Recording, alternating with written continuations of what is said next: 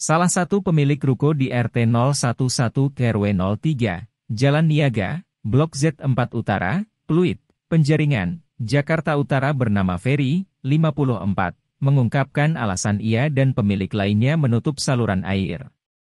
Ferry menjelaskan, tidak sedikit ruko di daerah ini merupakan usaha kuliner yang menjaga kebersihan lingkungan.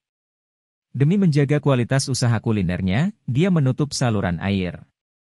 Namun, tidak ditutup secara permanen dan bisa dibuka kapan pun.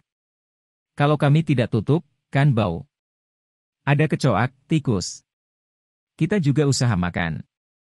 Kalau ada kecoak dan tikus, yang mana enak? Ibu mau, punya kafe, baunya tidak sedap. Banyak kecoak dan banyak tikusnya, sambung Ferry.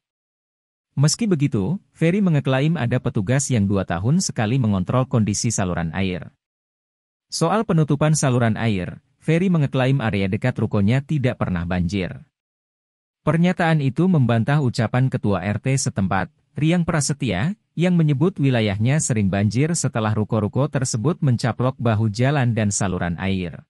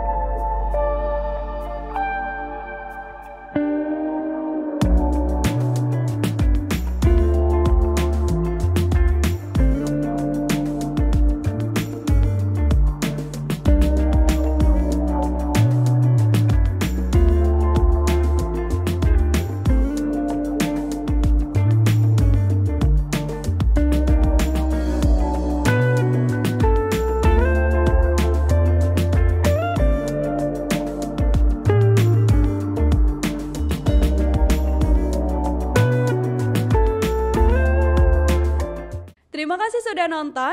Jangan lupa like, subscribe, dan share ya.